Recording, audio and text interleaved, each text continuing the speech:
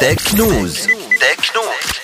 Lenovo شركة صينية صاحبة واحد من أحسن أنواع الحواسيب المحمولة أعلنت récemment على إصدار آخر تطويراتها عبر بيان نزل للعموم وفي TecknOOz اليوم كل التفاصيل وكل محتواه البيان هذايا نحكيو على PC portable جديد من Lenovo ينتمي لفئة البيسيات القابلة للتحول وأطلق عليه اسم يوغا 700 يخدم بنظام تشغيل Windows 10 وهبط en deux versions واحدة 11.6 والأخرى 14 pouces يختلفوا برشا في المواصفات حيث يقول البيان أن المسافرين المتعطشين اللي يحبوا على جاجيت صغير وسهل في الاستعمال مش يلقاو في اليوغا 711 pouces أحسن رفيق في حين ال 14 pouces يمتاز بأداء قوي للعباد اللي يحتاجوا للسرعة وال performance العالية. les deux prototypes يشتركوا في وجود تقنية ال IPS لزوايا الرؤية العريضة في ال écran اللي نلقاوه بدقة 1920 x 1080 بيكسل وزيد فيهم تقنية ال Dolby DS 1.0 home theater الخاصة بالصوت اليوغا 714 pouces فيه processeur 6 génération Skylake من نوع Intel Core i7 مع Nvidia GeForce GT 940M ويقدم mémoire aléatoire RAM 8 جيجا و mémoire de stockage 128 ولا 256 جيجا